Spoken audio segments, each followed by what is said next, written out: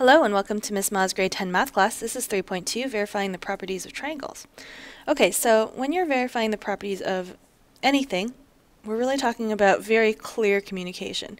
So you got to imagine that it's like an essay where you really need to communicate to a person who doesn't know anything at all. And you know, they can understand what's going on, but they don't know anything about medians or anything like that. Like they don't they don't know they don't know what it is. So you have to explain every step really clearly.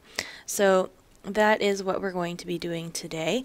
Uh, I'm going to do a few examples, but I'm not going to complete them totally just for the sake of time because you don't probably don't want to have like a uh, a 60 minute video or a 30 minute video. If I talk through every step, it takes a longer time. So I'm just going to uh, skim over some of it.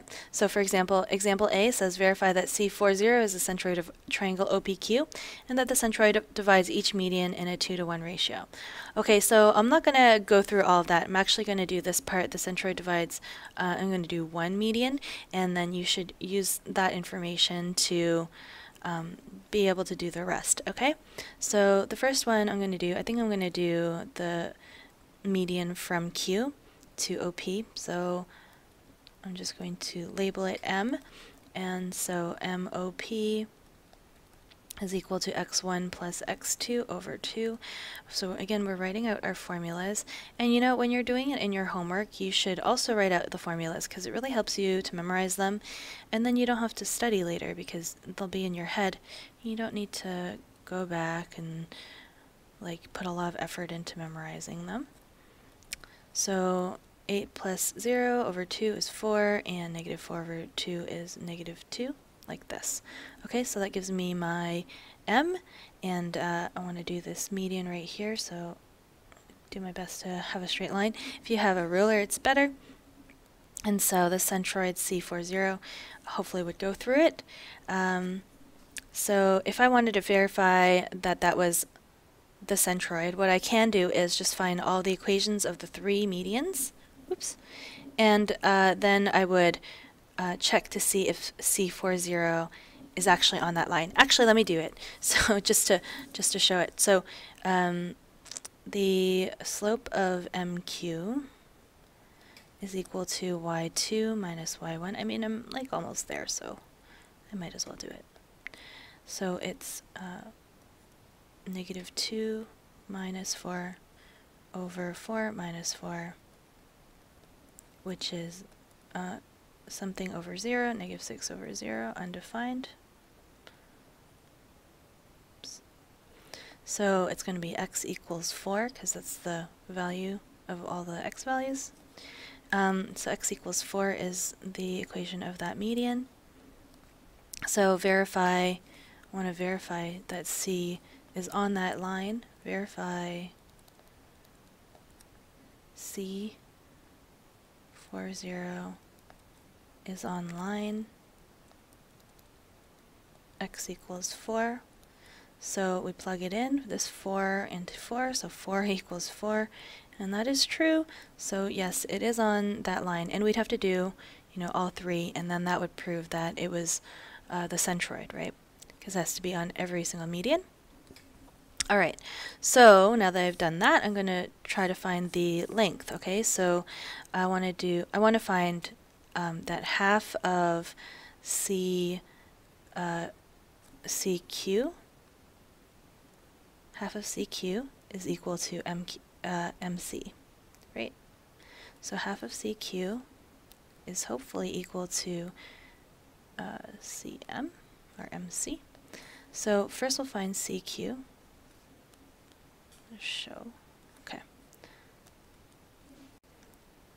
Use our length formula, x2 minus x1 squared plus, oops, sorry, I'm getting a little lag there, y2 minus y1 squared. It's the length formula we learned in the last unit. And so CQ uh, is 402 um, 4, so 4 minus 4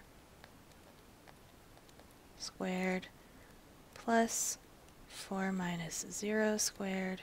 Doesn't matter which order as long as you keep them in order. So 0 plus 16 will get root 16, which is 4.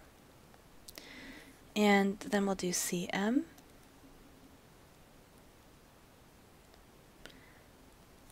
I don't need to write the formula since I wrote it already in this section.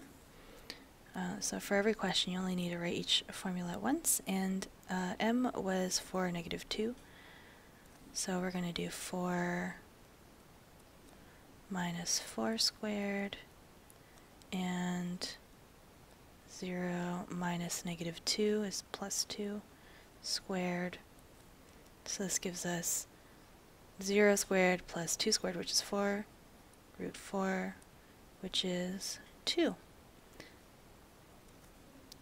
so 1 half of 4 is equal to 2, therefore half of CQ is equal to CM, which is what we were trying to prove. And you can finish it like this, or you can draw a square like this, or you can write QED. This just shows that we have finished a proof and makes us happy. Okay? So uh, in ABC, D is the midpoint of side AC, and E is the midpoint of side BC. Uh, if you can't read this, A is 1, 3, C is 7, 5, oops, and B is 5, 1.